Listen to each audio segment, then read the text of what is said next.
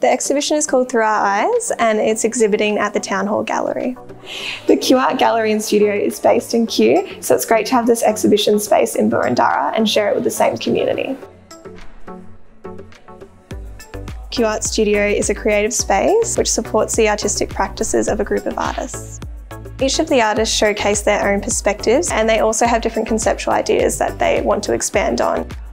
I think it's important for them to project how they're feeling and also how they see the world. It's through an artist's eye. It's about envisioning the mind of the artist, like just to have a look, just to see what ideas they come up with. Occasionally when I'm walking to work, I see lots of lorikeets and occasionally I've seen some eastern rosellas. I think because they're like nice and colourful, like the parrots, and they're interesting to paint. Matisse is like a gift. He did cut out when his eyesight was very poor. It means I can get my ideas from, but not to copy.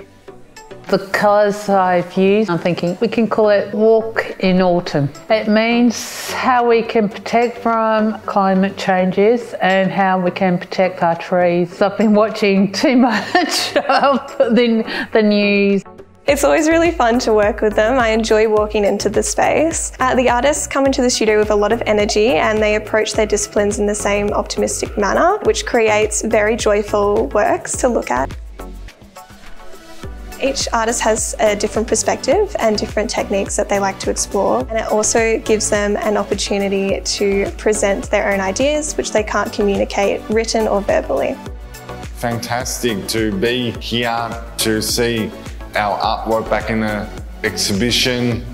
It's a lovely feeling to see everyone's artwork here as well. Oh, it looked really nice hanging on the walls. I like uh, Lisa's one with the bottle brush and the birds, very Australian. I think it does work um, all together and I think it's really good that um, each painting is very individual I think they're always just so confident and proud of each other uh, and also they've been together at the studio for a very long time now uh, so they're just happy to see each other's careers really take off.